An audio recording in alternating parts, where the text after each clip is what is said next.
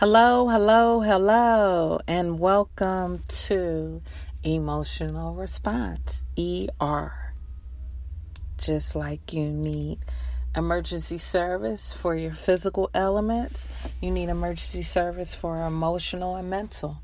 And this podcast was officially designed, specifically, strategically designed to meet those needs. And you can click on any topic at any given time and tune in on information that will help you grow as a person and grow at, in your relationships.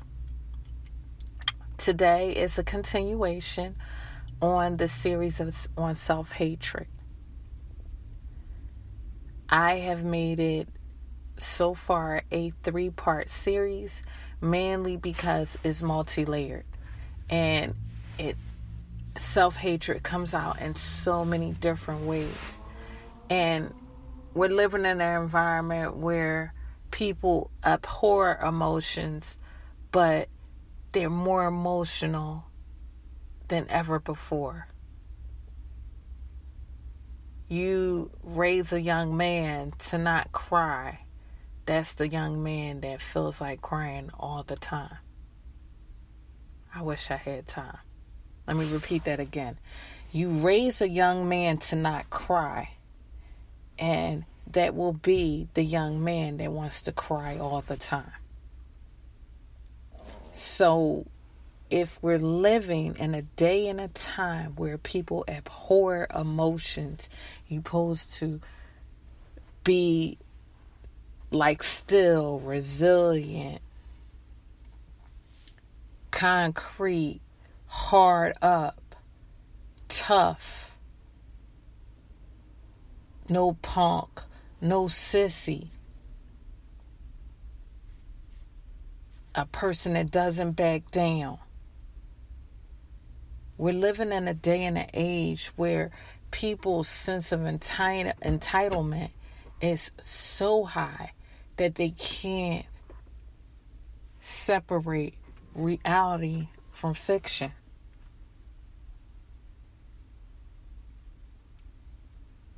And so, as we dive back into the self hatred series, this becomes another heavy discussion. Mainly because it's a beautiful monster. It's a beautiful monster. And when we identify it, we can work through it and process it and alleviate it. But if we don't identify with it and work with it and process it and alleviate it, it becomes bigger, bigger, bigger. And that's how people end up suicidal. They end up depressed. They end up doing bodily harm to themselves bodily harm to other people. Self hatred comes out in so many different ways. And today I want to talk about self hatred when it comes to relationships and connecting with others. And so, as we dive into this topic of relationships and how it relates to self hatred and relating with others, we have to come to the reality that self hatred is an intense dislike for one's existence, one's uniqueness, one's present aura it's an intense dislike. And for you to get to that point, it can be a rippling effect of everything around you, everything in your past, everything in your future. A rippling effect. So let's dive into the relationship component when it comes to your past relationships. Self hatred can begin to form if you're going through any abuse as a child physical, sexual and mental, excuse me. Physical, sexual, mental, emotional. All those different type of abuses can make you retreat within yourself and begin to hate your own existence because at to a certain degree you think it's your fault. It's your fault that your mom or dad was verbally abusive to you. It's your fault if you were physically abused, kicked and punched and banged into a wall. It's your fault if you were put down as an idiot, dumb, never reaching the mark, inadequate, not perfect. It was your fault if someone was perverting their connection with you and violating you with, through touch and intimate levels of sex. And so, as you go through those experiences, you walk around feeling like, why did I let it happen?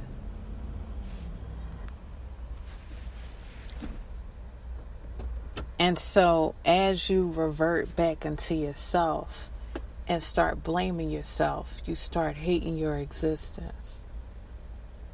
And this can come out in so many different ways. You was abused. And so the self-hatred, hating your existence and the fact that you went into it may may make you turn and use your body for money.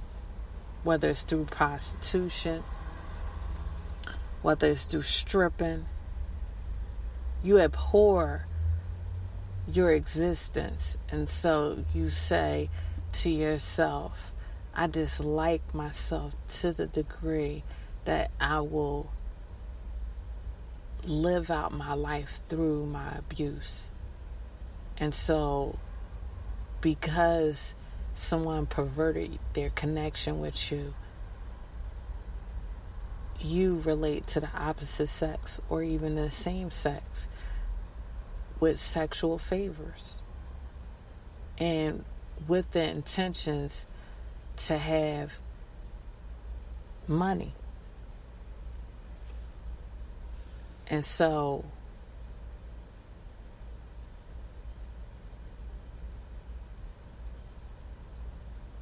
it gets real. It gets real. Someone someone might contend and say, "No, I don't strip, I don't prostitute, I don't lay down with men to get money because I don't hate myself, because I hate myself. I do it because I got to get away."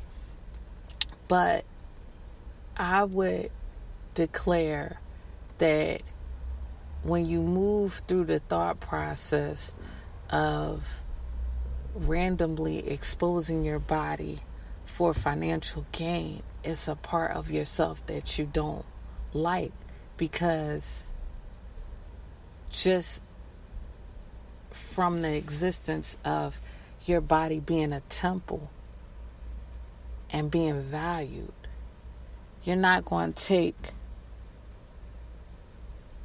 gold and throw it in the midst of crap or dung. So why would you throw your body in the midst of men or women that are only going to identify your body for money? Self love would equate you to only share your body with certain people that you have gained an emotional interest for. This gets heavy. And instead of you, those that are not not in that lifestyle or not doing it, it makes you look at those that are in that lifestyle and empathize with them instead of look down on them. Because we all have vices, we all have past experiences, we all have different dispositions. And we're crafted in such a way that we're imperfectly whole. Meaning we're all flawed, but we're imperfectly whole. I wish you could grasp that concept. We are born with a whole brain, a whole heart, a spiritual aspect, a whole body. Yet, even through our imperfections, we are whole. We're imperfectly whole. And so when you realize that, no matter what your experience is, you step away and say, hey, I can't let that experience dominate my whole existence on earth. I have to love myself beyond that experience and still value myself.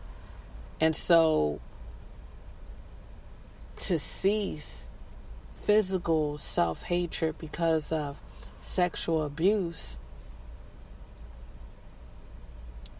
you begin to love yourself a little more than you did yesterday. And can anyone get right at any given time? Yes. Who puts time restrictions on anyone? So what? Someone been a stripper for 10, 20, 30 years. If they turn around tomorrow and say I want to love their love myself, they have open range to do that. There's no statute of limitation or anything. And if you have a problem with this topic and you're looking down on others that come out of that, you need to reassess your life and see where you are flawed at. And once you look at how flawed you are, you can't look down on others. Everybody has a way of masking the ugly parts of. And self hatred is a beautiful monster. So you swinging on a pole, or you wearing that Gucci bag, or that Supreme bag, or you rocking LVs on your feet. You got the latest everything. But you can't even look yourself in the eye. You can't even look yourself in the mirror. Self hatred. It comes out in many ways. Comes out in many ways. If you've been verbally abused or mentally abused growing up, and you think it's your fault, every time you get into a romantic relationship. You walk with a downtrodden spirit if you do something wrong. Oh my gosh. No. You are imperfectly whole. You will make mistakes. Yes. You were called idiot, stupid, dumb, crybaby. Yes, you were called those things continually and ongoing. But do you let that dominate your existence? You heal, you recover from it. You don't let it become the all encompassing factor to you existing.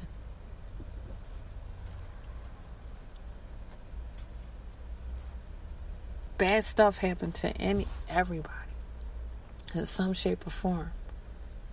But you grow out of it. And those that find themselves at a dark place where they're not growing from it, that's why life coaches and therapists exist.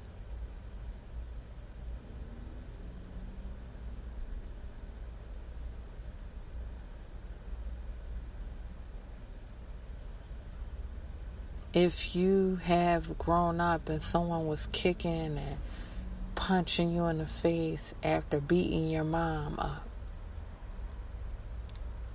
you think it's normal to beat yourself up. So you do something wrong, you start kicking and punching yourself. Some people listening to this